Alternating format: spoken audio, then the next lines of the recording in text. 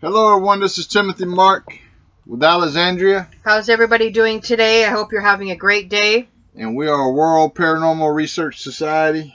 The website is worldparanormalresearchsociety.org, and the Gmail for all you people out there is World Paranormal Research Society at gmail.com.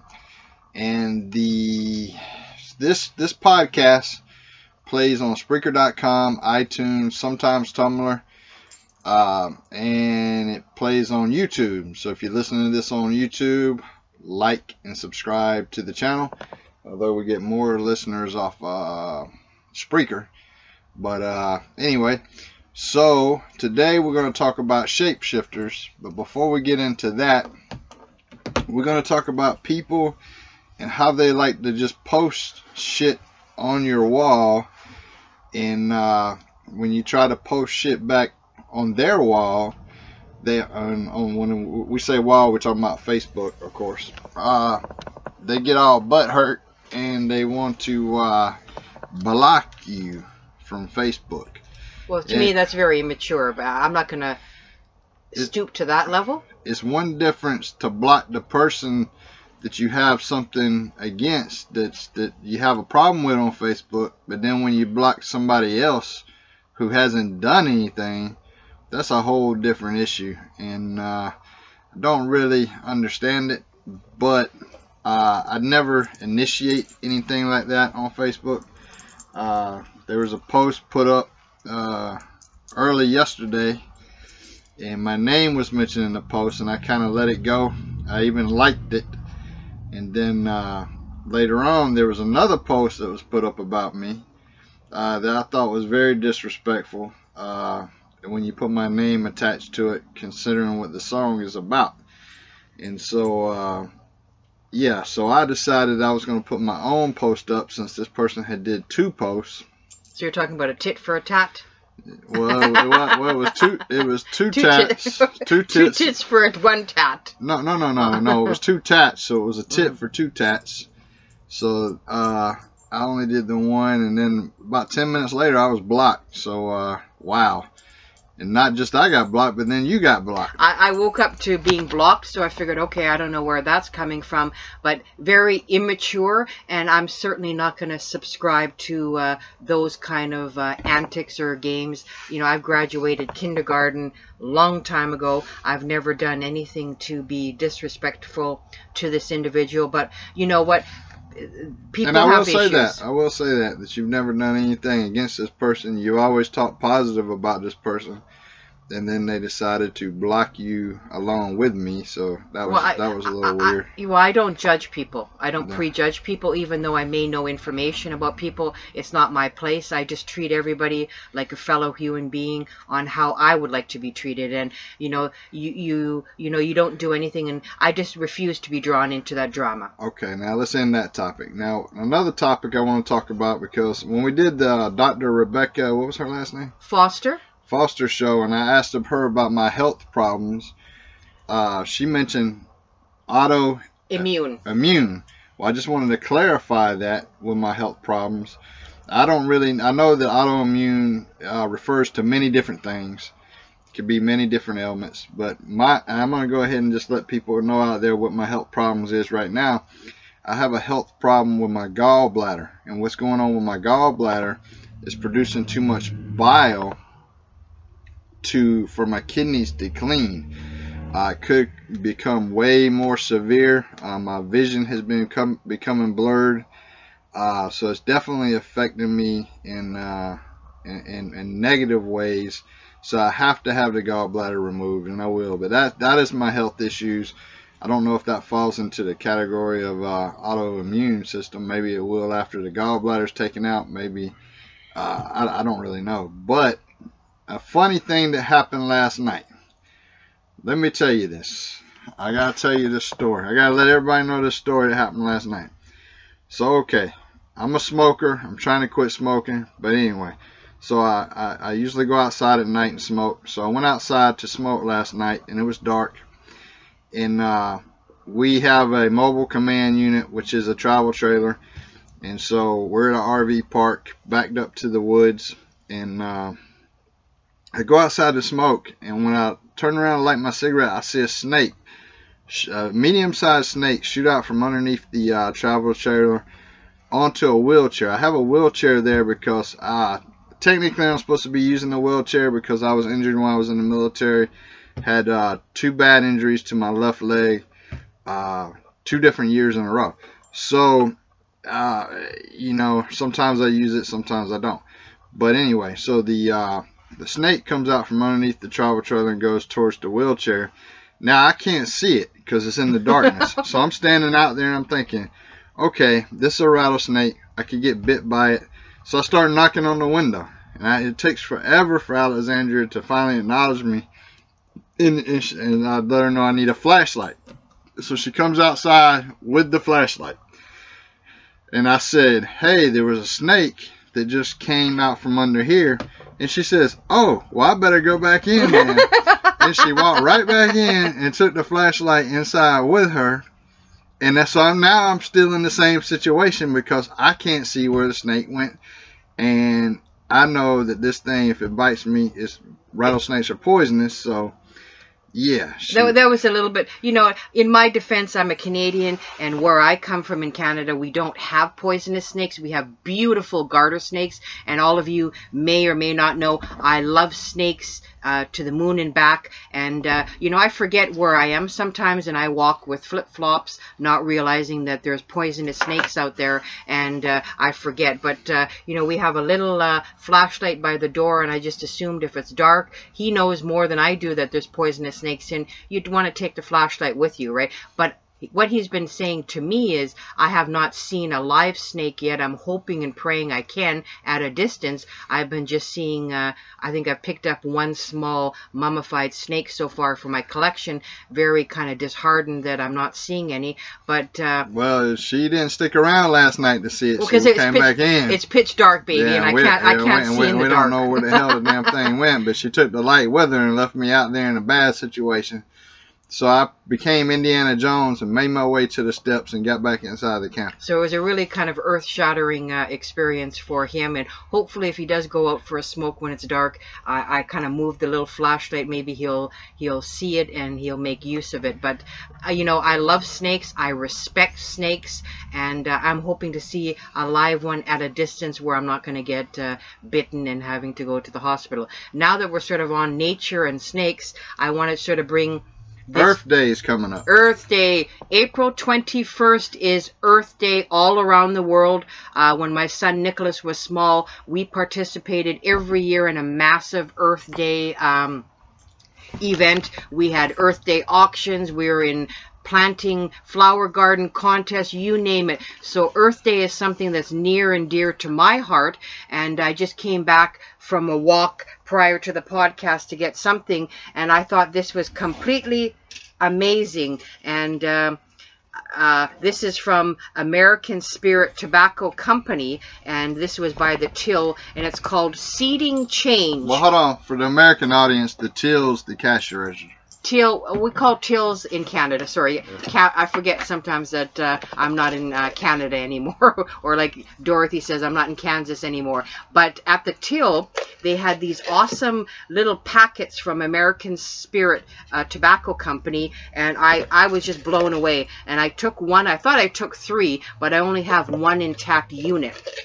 And what it is, is uh, they say on here, this is sort of like a, a little um, Ziploc type of uh, container and it says the world is a more beautiful place without cigarette butt litter. So they've given you a little uh, disposable uh, unit for putting, uh, thank you for disposing of your cigarette butts properly. And they go one step further and it says this Earth Day, let's celebrate nature's beauty. And they give you a paper and it's a seeded paper. So you plant this seeded paper under loose soil, you soak it, and then it's a sheet of wild flower seeds. So I think this is absolutely ingenious and uh, I'm going to try and pick up a few more of these if I can because these are a brilliant idea where a cigarette company is trying to have people dispose of their butts uh, more uh, uh, economically and environmentally friendly, and then they're giving you some um, wildflower flower seeds in front of that inside the package. So I think it's just absolutely wonderful that they're doing that. Yep, that's good. That's good. We should all do our part and respect Mother Nature and uh, not destroy the planet and any kind of small step is a huge step in the preservation of our planet. But now that we're talking about Mother Nature again, we're going to go into today's show Which about shape, shape shifting or and shape I like shifting to talk people. about the one that shapeshifter that people's been knowing you uh ever since what probably the 60s Play-Doh. You can definitely shape shift some Play-Doh ha ha ha. But talking okay. about well, no, yeah, that's, no, that's, that's, I have an idea. that's of a joke, folks. No, I have an idea of a shape shifting Play-Doh. Remember, I I made you a stress ball of Play-Doh. So I'm not going to give the recipe. I might do a demonstration in a later podcast, but that's a unique idea of shape shifting the form of Play-Doh into something that's useful as a stress ball. So let me start it off the show here with a story going all the way back to Europe in the 1700s. Uh, the different countries there. The uh, the thing is, the people of Europe, the citizens as a whole, almost all over Europe, believed in shapeshifters all the way in the 1700s, and they believed that women were shape shifting into werewolves. They really believed that, and so uh, there's a story that goes back that actually these women would go into the woods and people would follow them in there and then they would get killed by these uh, these wolves and they figured the women were shape-shifting into wolves. But later on it became women and men were doing this and one man was actually caught and what he was doing was wearing the hide of a wolf and he was dressed up like a wolf but he was acting in a very wolf-like manner and he was killing people wow that's that's kind of uh, interesting. And on to that note, as you know, I always like to talk a little about uh, um, mythology, folklore, and history. And in mythology, folklore, and speculative fiction, shapeshifting is the ability of a being or a creature to really completely transform its physical form or shape.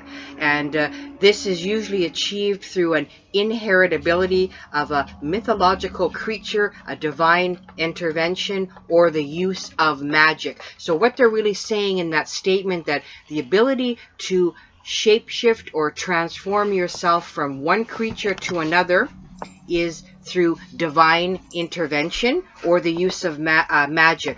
And really, the idea of shape shifting is present in the oldest forms of Totemism and shamanism, as well as the oldest uh, literature and epic poems, talking about the epic of Gilgamesh and the Iliad as well where the shape-shifting is usually induced by the act of a deity. And again, the idea persists through the Middle Ages, where the agency causing shape-shifting is usually a sorcerer, a witch, and then into the modern period. And it actually you know, remains sort of a common theme in a lot of modern fantasy, children's literature, and very popular works of popular culture and uh, there's just so much on shape-shifting. And if we go into um, popular shape-shifting creatures in folklore are werewolves and vampires mostly of European Canadian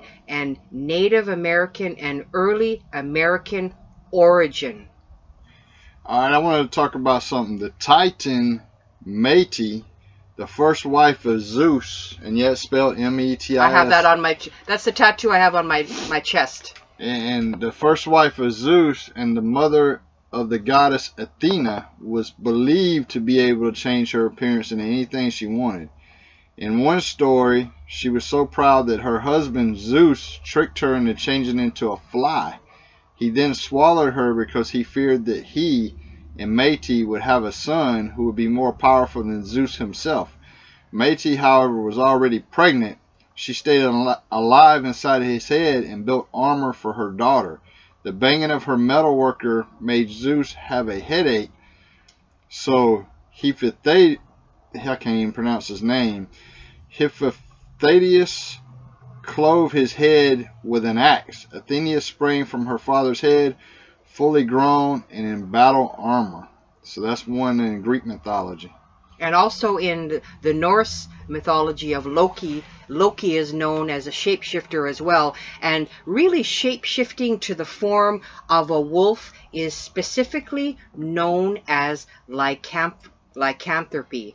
And uh, such creatures who undergo such a change are called lycanthropes and uh, we go into even people that are able to transform mortals into animals and different plants. And the other terms for shapeshifters uh, in the Navajo is skinwalker. I know a lot of you may have uh, heard of the term skinwalker with the Navajo Indians, and um, just so many other ones. Even um, you've mentioned about the Greeks and about Tites as well. Uh, the uh, Greek Zeus again, and we're talking about even where I want you to really kind of look up this word Métis, and Métis from where I come from is I'm half Aboriginal and half Sc- Scottish, where uh, we believe in a lot of indigenous cultures believe in the Wendigo as a shapeshifter as well. But I'm going to go into Wendigo a little bit later in the show because that's just a different form of a shapeshifter. And um, actually, Medusa turned to a monster for having sexual intercourse with Poseidon in Athena's temple. So we have so many other uh, different shapeshifters through other different civilizations and uh, on and on and on. But I'm going to go into uh, more of. Um, Britain and Ireland because uh, that's part of my Celtic heritage as well. As well, fairies, witches, and wizards were all noted for their shape-shifting ability. And but I want you to know that not all fairies could shapeshift. Some were very limited to changing their size, their forms, and some could be glamorous, and some were just allowed to create illusions. And uh, it is said that witches could turn hares in that form, and they could turn witches could turn into hares or rabbits and uh, steal milk and butter. And uh, many British fairy tales, such as Jack and the Giant Killer and the Black Bull of Norway, features uh, shape shifting as well. In Armenian culture, Armenian mythology, shapeshifters include the Nahang, a serpent-like river monster that can transform itself into a woman or a seal and would drown humans and then drink their blood. And so uh, that's in Armenian. And I really think that a, a mermaid is a, a shapeshifter as well. And uh, Scottish mythology uh, features shapeshifters which allow the various creatures to trick, deceive, hunt, and kill humans. And water spirits such as the each uh, uisge which inhabited the lochs and waterways in Scotland were said to appear as a horse or a young man. And other tales include kelpies. I actually have a, a, kelpie tattooed on me as well. And they would emerge from lochs and rivers in the disguise of a horse or a woman in order to ensnare and kill the weary travelers. So Scottish, Ireland have a lot of uh, myths in regards to shape shifters as well. And in tar- Tatar folklore, you have the Yuxa, Y-U-X-A, a hundred-year-old snake that can transform itself into a beautiful young woman and seeks to marry men in order to have children. So female snake. Very close to what they are anyway. Hey, uh, and so yeah. And then we, we touched a bit on uh, Norse as well, and we were uh, Odin and uh, Loki would taunt taunt each other with having taken the forms of females and nursing offspring to which they had given birth. So there's a 13th century Edda relates to Loki taking the form of a mare to bear Odin's steed, which was the fastest horse ever to exist, and also the form of a she-wolf to to bear Fenrir as well. So that's just in the Norse uh, tradition as well. And you go on and on in regards in to Argentina. In Argentina culture, you also have it, but in Argentina, uh, it's usually people that r- practice sorcery have been transformed into pumas or jaguars, and that's the legend of Argentina and Chile. So if you really think about it, all these different cultures and time frames that we've brought to you, again, since the beginning of time, there has been a form of shapeshifters of some sort. And again, in Scandinavia, uh, there existed, for example, the the famous race of the she werewolves known with the name of, and it's spelled M A R A S. And they were women who took on the appearance of took on that appearance of the night looking for huge monster, half human, half wolf. If a female at midnight stretches the membrane which envelops the foal when it is given when it is brought forth between four sticks and creeps through it naked, she will bear children without pain. But all boys will be shamans and all girls will be these uh, female werewolves. So, people that shapeshift, they gain or obtain ability, abilities in the new form. Berserkers were held to change into wolves and bears in order to fight more effectively. In many cultures, evil magicians could transform into animal shapes and thus skulk about. So people could, uh, if they were fighting, could transform into wolves or bears and get their powers, their strength, and win battles. That's at least in these myths. And for me, being a, a 50% Aboriginal or Indigenous uh, culture, I grew up with stories, and I'm going to sort of shift now to what we call Wendigo. And uh, wind, it can either be spelt W E N D I G O or W I N D-I-G-O, Wendigo. And really in Algonquin folklore, the Wendigo is a mythical cannibal monster or an evil spirit native to the northern forests of the Atlantic coast, the Great Lakes region of both the United States and Canada. And uh, the Wendigo may appear as a monster with some characteristics of a human or as a spirit who has possessed a human being and made them more monstrous. And um, historically, they're al always uh, associated with cannibalism, murder, insatiable greed, and uh, the cultural taboos against such behavior. So they're really a legendary creature uh, in the United States, in Canada. And uh, you know, a fun fact, we're going to put a fun fact on this serious topic here. In The Hobbit, the prequel to The Lord of the Rings, the character Beorn is normally a large human, but can shapeshift into a large bear.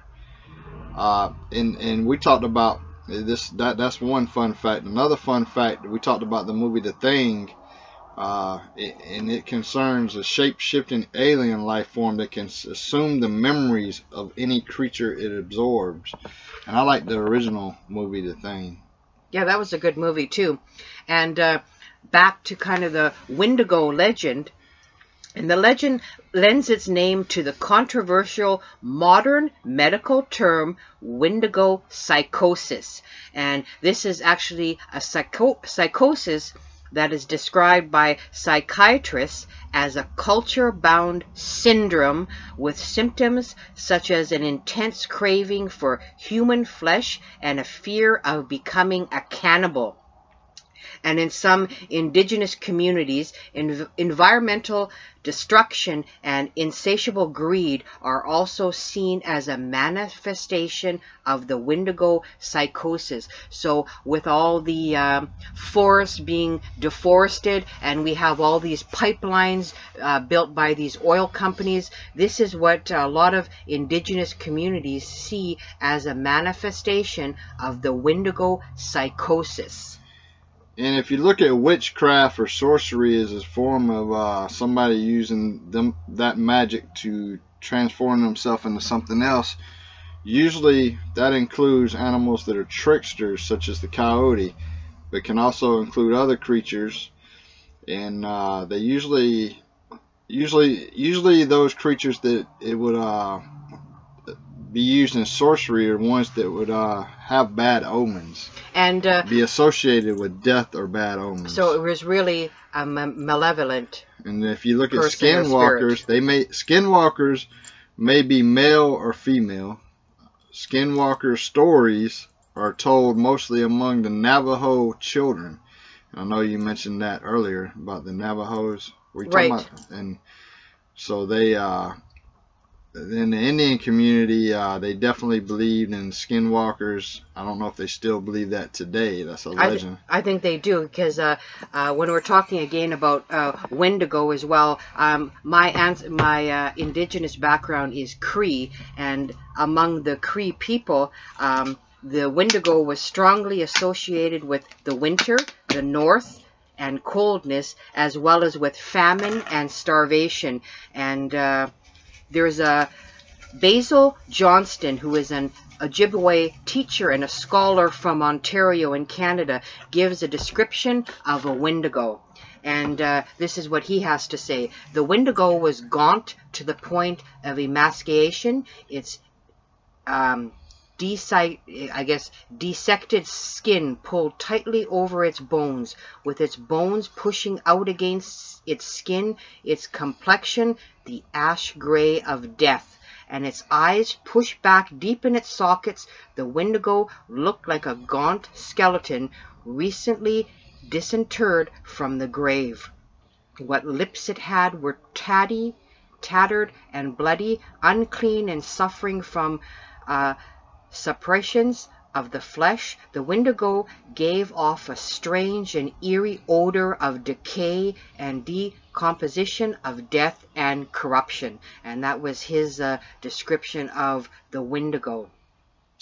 So if you go into the history of the uh, the werewolf and people that typically when you first seen the werewolf, actually believe it or not, it was around the years 27 through 66. 27 through 66. So um, then uh, they became very very what more widespread in 1150 and, and 1228. Uh, it was very popular in the folklore of the European communities, and uh, it was the Christians who actually were classify people as werewolves in order to kill them. So that that could be a, a conspiracy theory all to his own. In regards to them trying to get rid of these people by just classifying them as werewolves. Yeah, and belief in werewolves developed in parallel to the belief in witches in the, the course of the late Middle, Age, Middle Ages and the early modern period. Like the witchcraft trials, the trial of werewolves emerged in what is now Switzerland. So everybody's heard of the Salem witch trials and witch trials in Europe and things of that nature, but nobody really talks about the werewolf trials, which is pretty awesome. That's pretty fascinating because I mean I have a fascination with werewolves as well. That's sort of uh, I actually wear a werewolf uh, ring that was given to me uh, from my grandfather, but that's another story for another podcast. Uh, I think we could just do a whole podcast on werewolves in itself. And getting back again to Well, when- well, well, well, before you get off the werewolf topic, uh, there was doctors that would uh, argue about the. Uh, some some doctors would say that it was a it was uh, people who had reddish teeth and they had a psychosis. Uh, that their psychosis led them to believe that they were actually werewolves, and so. Uh, but there was a doctor named Dr. Woodard who believed not this not to be true. He believed that werewolves actually existed, and he said because they, these people look so much like wolves.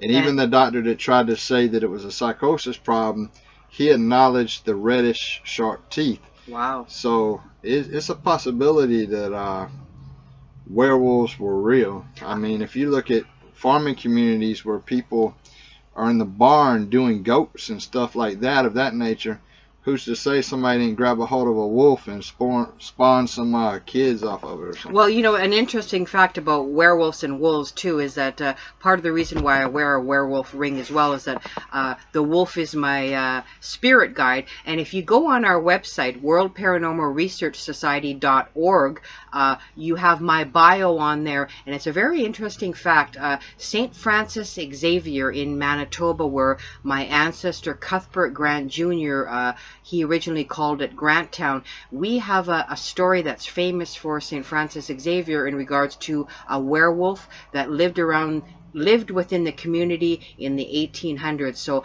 uh, the story is too long for me to mention now, but go to the website. It's under my uh, bio because I've included that because that's the, where my family has come from. Now, the people that they caught that they believe were werewolves, uh, this was the description of them they had uh, the eyebrows met at the bridge of the nose. Mm-hmm. They had curved fingernails.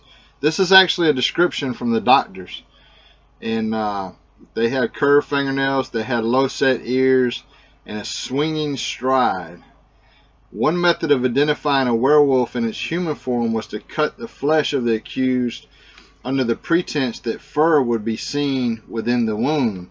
So you can imagine the accused standing in a courtroom and just being sliced because people thinking the fur is going to come out of it very very interesting too. So i mean i, I find that topic fascinating. I remember uh, as a child i think i was maybe five or six years old i used to go on a vision quest with my grandfather in the bush. He was a trapper and you know we discussed a lot of things and he did tell me he did talk about wendigo and he did talk about werewolves and uh, folklore because he used to go uh, in riding mountain national park or duck mountain national park moose hunting uh, at all you know to bring fam uh, for the family. And he always told me, I remember this specifically as a child, that I was never to speak with a man uh, that had his eyebrows meeting in the center. He told me to beware of a person like that because he was a werewolf slash wendigo shapeshifter. So that was a warning for my grandfather at a very small, small age. So I really grew up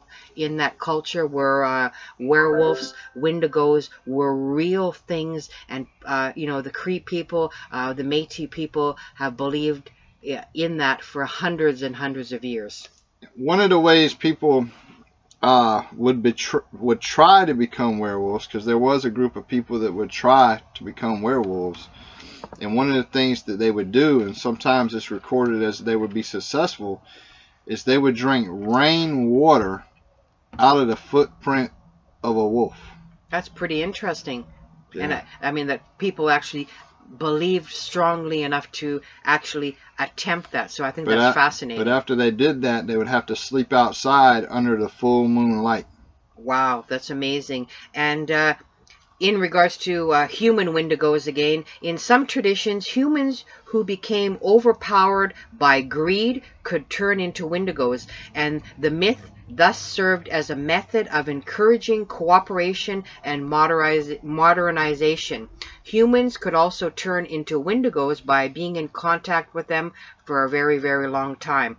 So there's a lot of actually um, taboo reinforcement ceremonies among the Assiniboine, the Cree, and the Ojibwe, where they did a ceremonial dance that they did perform during the times of famine to reinforce the seriousness of the Wendigo taboo. And um, the last known Wendigo ceremony conducted in the United States was at Lake Wendigo of Star Island of Cass Lake, located within the Meet the Leech Lake Indian Reservation in northern Minnesota.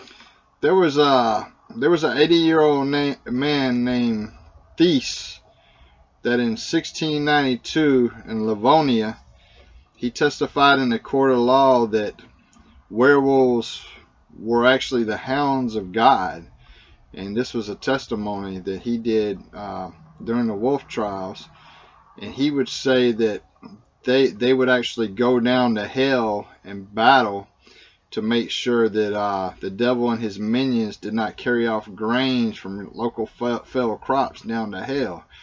And he also said said in the court of law that uh, by doing this, when the werewolves died, their souls were welcomed into heaven. I really think in in in my way of thinking, I really think that uh, the Wendigo and the werewolf are one one and the same. It's just different cultures and different belief systems uh, calling them something different. But certainly, like I said, uh, werewolves uh, feature in my family in regards to that uh, legend where Cuthbert Grant Jr. came from. And uh, again, um, Although distinct from how it appears in traditional lore, one of the first appearances of a character inspired by or named after a Wendigo uh, in non-indigenous literature is Algernon Blackwood's 1910 short story The Wendigo, and Blackwood's uh, work has influenced many of the subsequent portrayals in the mainstream horror fiction. And uh, there was an author that did The Thing That Walked in the Wind in 1933 and 1941. And this actually inspired the character in Stephen King's novel Pet Sematary. So Wendigo has inspired uh, mainstream horror writers or films in regards to uh, bringing them into uh, uh popular uh, kind of myth and culture. And another kind of maybe fun tidbit that the Wendigo also appears in American comic books published by Marvel Comics. And it's created by the writer Steve Englehart and the artist Herb Trimpe. And the monster is a result of a curse that afflicts those who commit acts of cannibal, cannibalism in parts of Canada. And actually, the Wendigo first appeared in The Incredible Hulk, nine, uh, number 162, which was April 1973, fighting the Incredible Hulk as well as Wolverine in his first comic book appearance. Yeah, and uh, you know, you talk about they they also made a lot of good movies about the werewolf the Wolfman, The Werewolf of London, The Howling, The Howling 2 being the best, of course. we won't go into that uh, the why or the the wow factor of that but it was I, i'm a fan of the howling movie series as well and talking about movies that made of uh, the wendigo creatures based on wendigo appear in a number of films including Dark Was the Night and Ravenous. And uh, they've also appeared in television series such as, again, Supernatural, Blood Ties, Charmed, Grimm, and Hannibal, where they feature features uh, creatures that uh, have uh, been kind of uh, Wendigo in uh, their kind of uh, look. And another word for well, there's another one. Frankenstein meets the werewolf or meets the Wolfman. That came out in 1943. I haven't seen that one yet. I would love to see that one. Yeah, that seems like that would be uh, interesting when you when you when you kind of look at that. That would be interesting. And you did mention again Skinwalker as well, right? And a lot of people uh, have asked the question, what happens if you get bitten by a wendigo? So, I mean, that, that may not be a question that comes to your mind, but some people may want to know that. And it says, despite being undead seeming mutant humans, wendigos again, let's face it, folks, wendigos are not zombies, nor do they have an infectious bite. A person bitten by a wendigo will not become one due to the attack. Only if they eat human flesh while a wendigo spirit is free to possess them. And that's what it says in regards to some kind of weird facts about uh, the wendigo. So yeah, there's many different forms of uh, of shape shape shifters. Uh, I think one of the best werewolves, when you talk about shape shifters, werewolves are probably the most famous. One of the best films I think that had the best design on the werewolf was a film that came out in the 80s called Waxwork. Uh, came out in 1988, and uh, it, it features a werewolf in there. And then you have Werewolf in a Girl's Dormitory. That one was actually pretty funny. I like that's an older movie. I like that one and the Werewolf of Washington, the Werewolf of Woodstock, Werewolf Rising, Werewolf Woman. The Werewolf was a 1913 silent film called The Werewolf.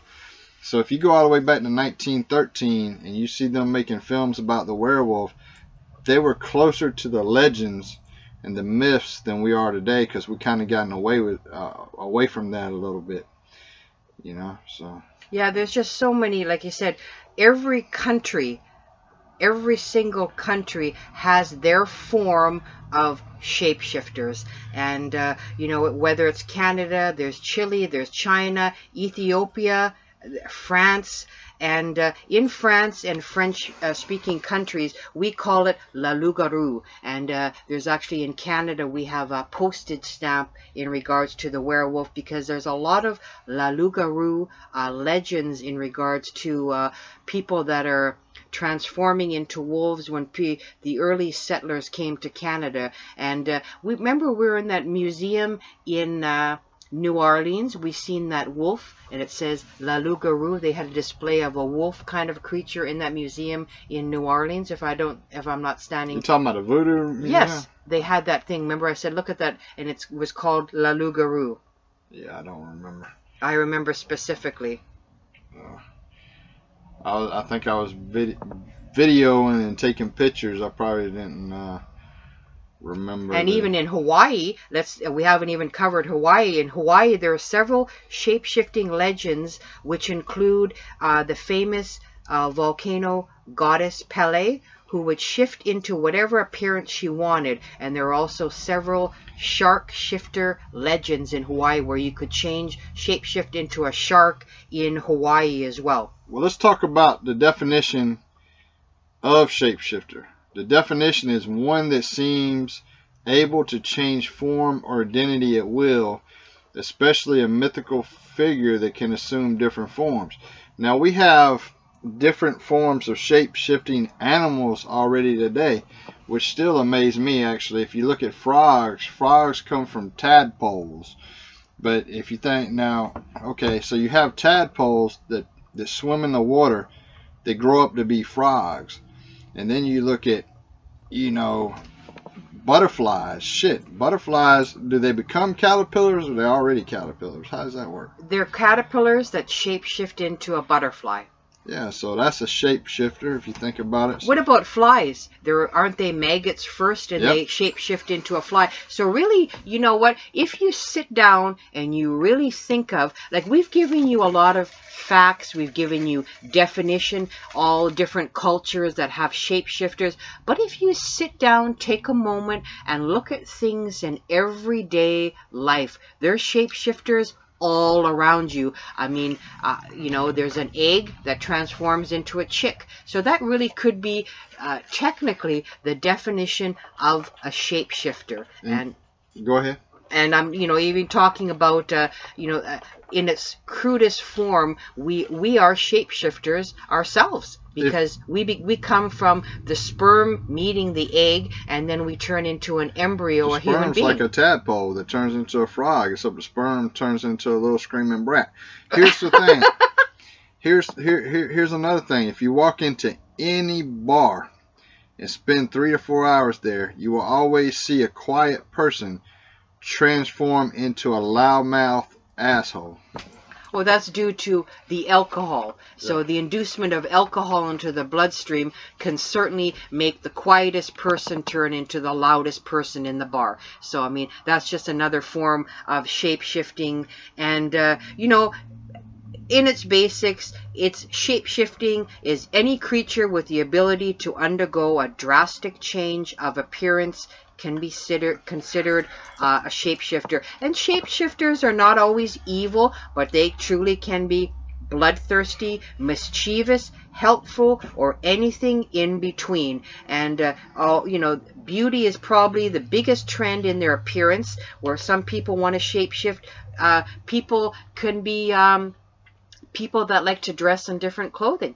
That could be another shape shifting. You're you're changing, you're transforming your appearance. And uh, the really, shapeshifters are definitely real and demons can shapeshift into human like form and lead countries so yeah it's definitely something that's serious and real and uh yeah I mean, we've seen uh, in Or you look at uh, what's what's the name of the dude from the Kardashians that shape shifted into a female? The dad. oh, I you know, uh, Oh. Kris Jenner. No, I think that's the woman, ain't it? What? Bruce Jenner. Bruce Jenner, pardon me. Bruce Jenner. That's how much of an impact I can't get the name straight. we don't even watch that show. We hate that show, but the uh, Bruce Jenner, because he was all over the news, shapeshifted himself through surgery into a female, a very ugly one too. And you know what? Uh, we always say that, you know, we always want to, you know, kids are scared of the boogeyman. And really, in children's fairy tales, uh, which were first popularized by the Grimm brothers and Hans Christian Andersen, and later they were actually commercialized by Walt Disney, also welcome shapeshifters into their pages. And in many cases, a beautiful prince or princess is trapped in a monstrous form, and their only hope of salvation is to find true love. And examples of shape shifting in children, uh, you know, Walt Disney is Beauty and the Beast, The Swan, Princess, and of course my favorite is Shrek. They are they all used this shape shifting theme. So Beauty and the Beast, Shrek, and the Swan Princess, and. Um, but again, today, as Timothy has mentioned, today's most well-known shapeshifter, of course, is the werewolf. And that's the one that is most uh, prevalent uh, in today. And, uh, you know, there's different, a goblin can even be a shapeshifter, a jinn uh, can be a shapeshifter. There's just so many names that you can kind of really dissect into what you think a shapeshifter is. Yep. So, uh, Do you think they're real? What do you, what's your take? Like, I mean, other than yeah, folklore, well, they are real. De- de- demons shapeshift into people. So yeah, I, I think I believe that they're out there. They exist. They're real. And uh, you know, I don't believe in the werewolf. I do not believe in the werewolf. I think at one time they used to exist, maybe way back, but I don't think they're out there now. What about the lizard people that they, they said it's a government conspiracy? I've read a lot of information. I know Coast to Coast has covered a lot of these reptilian people, lizard people. They say that a lot of uh, high-ranking government officials are these reptilian or lizard people. That's They a say the royal family in England's part of the lizard people too, don't they? Yeah, and that that would be considered a shapeshifter where they have these Yeah, high-ranking. I, I, I don't believe that. I, I I just don't believe the royal family's uh uh lizard people. I don't believe it. Well, I don't believe that in itself, but I'm just saying that's just another example of a form of shape shifter that uh, that is out there and uh,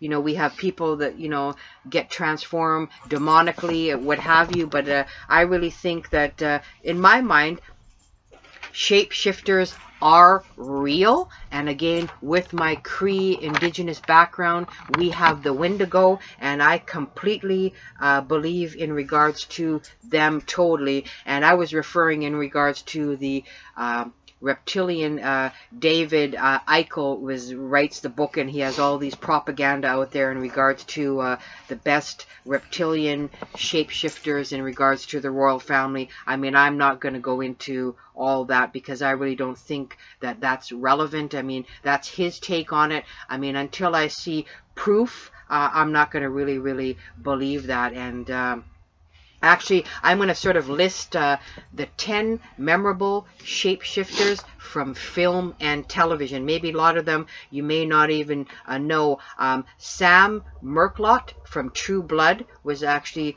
True Blood uh, is filled with uh, vampires. Uh, in regards to, uh, there's another one here. There's uh, Sylar Heroes. There's Alexandra Mack, The Secret World of Alex Mack. She was, ex, you know, exposed to a chemical spell, and she got. Uh, who's another shapeshift? If anybody is a fan of X Men, Mystique. She's the woman that's painted all in blue and all that. She's considered a shapeshifter from the X X uh, X Men movies. And in that same uh, category, you'd put Wolverine being the werewolf, but he uh, that was surgically done. So What about uh, in uh, um, Terminator 2? Uh, Arnold and all they were shapeshifters. They could transform. Arnold wasn't a shapeshifter. The the the T I think it was the T one thousand. Yeah, T1000 is considered a shapeshifter. Uh, Merlin uh, in the movie The Sword and the Stone. Um, actually, they say that, uh, you know, there's so many people that they name here. There's uh, Odo in Star Trek Deep Space Nine. He was a shapeshifter. And again, you mentioned John Carpenter's movie The Thing. Now, somebody that used uh, magic to shapeshift, one of the comedy shows that I likes, The Munsters. Herman would try to shapeshift himself. Grandpa was always shapeshifting into a bat. One of the things I like to recommend for anybody to get out there is uh, Spider-Man and the Werewolf. It's, it's a team up. Spider-Man and the Werewolf team up. And if I could, I used to have that comic book. Man, if I could find that one today uh, in good condition, I would definitely buy it. And who could forget, of course, Doctor Who and the Doctor Who series. I love the original Doctor Who. He was a true uh, shapeshifter because he he uh, did he was a time traveler where he could uh, shapeshift into different times. So the Hulk. Yes. Shapeshifted into uh, big green monster. Actually started out gray, but yeah, now he's green. So. And uh, you know, there's just so many things that you may have not thought of of being shapeshifters. And again, you had mentioned American Werewolf in London, the Howling series, and uh, there's actually uh, Sleepwalkers as well. There's so many different uh, movies that feature the theme of shape shifting. And uh, It Follows is another movie. And uh, on and on. Well, the blob, the blob was a shapeshifter in a way because it could shapeshift its, it could take any shape uh, it, it, wouldn't become a human form or anything, but it could it could flatten itself and go under doors, or so it could change its shape. Its and what about shape. even with Michael J. Fox, uh, Teen Wolf? He was a shapeshifter. That uh, was a good movie, by the way. Yeah, Teen Wolf, Teen Wolf with Michael J. Fox. That was yeah. good. Uh, again, we mentioned X Men, uh, The Fly, the Fly movie as well. Uh, there's just so many other movies. Um, the Shaggy Dog. What about the Shaggy Dog? Yeah. He transformed, uh, the Shaggy Dog transformed into a dog. Uh, again, uh, so many, the Chronicles of Narnia have that. The Fly again. Van Helsing.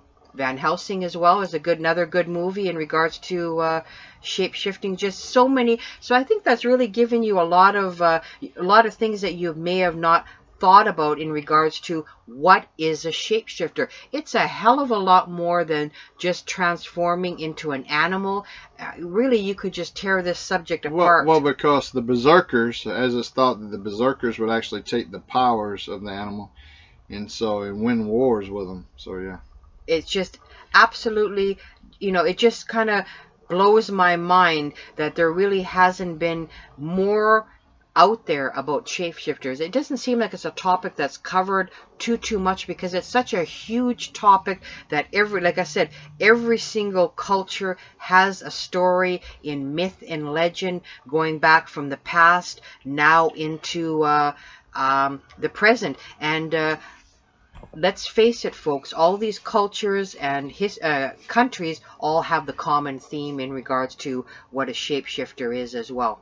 And uh, there used to be a comic book series called Crack Comics, and they have uh, they had a werewolf in that one. And uh, if you can ever find that, it's, it's issue number 51, Crack Comics. That's definitely another one I'd like to add to my collection. And if you ever see, if you see a lot of werewolf stuff, and you might see them having some tie-in with the Nazis theme or whatever in some of the artwork or stuff. And the only reason that is is because Hitler had a uh, one of his hideouts, one of his command posts was called the Werewolf, and so uh, that's why you see on comics sometimes you'll see when a reference to Nazis when you see the werewolf or whatever.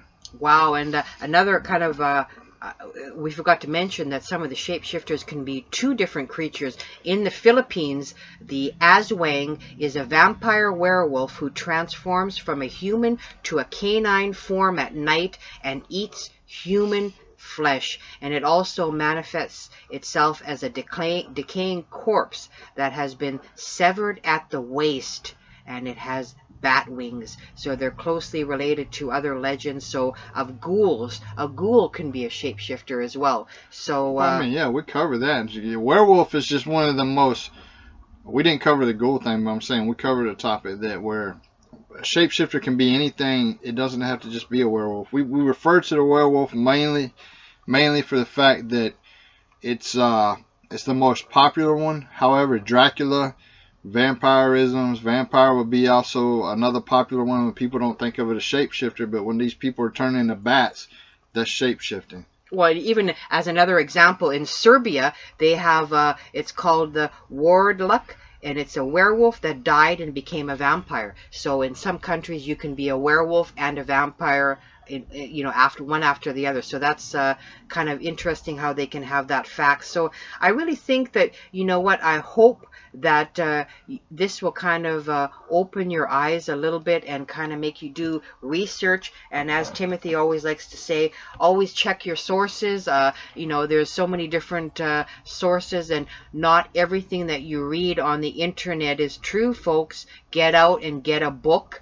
And uh, you know, we have a lot of good books that we've uh, written out there. Uh, Timothy has Vlad the Impaler. I have the Goat Man. I have the Blood Countess. So we have a lot of different interesting topics out there in regards to some of the things that, you know, even the Goat Man that we have accounted in a lot of our investigations. So hopefully that you will do your own research and uh, you again will expand your horizons and I hope this is a topic that you found interesting. I certainly find it interesting like I said growing up with all these legends uh, in my culture and um, I do believe in uh, the Wendigo very strongly. They do a, a, Halloween event in Lower Fort Garry uh, where they actually have a Wendigo where he runs out from the woods and scares all the people. So these legends are true and I think it absolutely fascinating, folks. And please uh, get a book or do some research and, you know, find out what's where you're from in the world, what the legend is regards to Wendigo.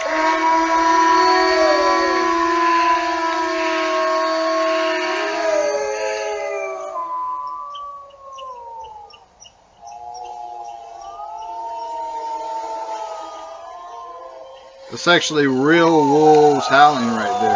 And as Dracula would say, real children wolves. of the night.